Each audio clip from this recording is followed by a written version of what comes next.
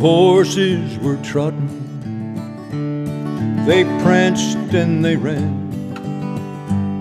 Each one was commanded by a cavalryman.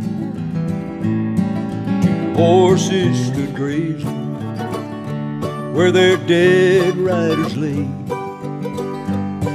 A Union mare, a Confederate grave.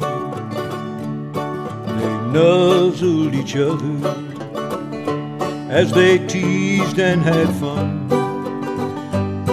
They bathed in the warm rays of that old southern sun.